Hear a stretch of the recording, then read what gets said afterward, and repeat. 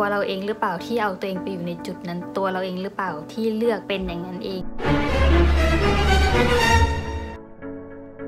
การที่เราเจอปัญหาอะไรหรือเจอเรื่องไม่ว่าจะเป็นดีหรือร้ายแล้วเราอะใช้นิ้วชี้เนี่ยชี้เข้าตัวเองเมื่อเราชี้เข้าตัวเองบ่อยๆอะเราจะไม่โทษคนอื่นอีกเลยค่ะ เวลามีอะไรผิดพลาดมาไม่ว่าจริง ๆ แล้วมันจะเกิดจากใครก็ตาม มันเกิดจากเราเนี่ยแหละค่ะ ตัวเราเองหรือเปล่าที่เอาตัวเองไปอยู่ในจุดนั้น ตัวเราเองหรือเปล่าที่เลือกเป็นอย่างนั้นเอง คนอื่นจะเป็นยังไงไม่เป็นไรถ้าเราชี้เข้าตัวเองอะมันจะทำให้เรามีบทเรียนกับสิ่งนั้น แล้วก็เติบโตขึ้นมาได้เนาะสมมติว่าเหตุการณ์หนึ่งเกิดขึ้น ถ้าเราคิดว่าเราราโชคร้ายหรือว่ามันไม่ใช่เพราะเรา เราก็จะไม่เกิดการเปลี่ยนแปลง ไม่เกิดการเรียนรู้ว่าจริง ๆ แล้วอะเราทำอะไรได้มากกว่านี้หรือเปล่า ถ้าเราชี้เข้าตัวเองเนี่ยเราสามารถเปลี่ยนได้ เราสามารถไม่เลือกอย่างนั้นได้ ทุกคนมีทางเลือกนะคะ ที่จริงแล้วอย่าคิดว่าเราไม่มีทางเลือก จากที่เราชี้เข้าตัวเองปุ๊บเรามีความรับผิดชอบเพิ่มขึ้นกับตัวเอง เราได้เรียนรู้เราได้พัฒนาทำให้เราไม่เอาตัวเองไปยึดกับคนอื่น แล้วก็ไม่ยึดกับสิ่งใดเลย เรารับผิดชอบที่ตัวเราเอง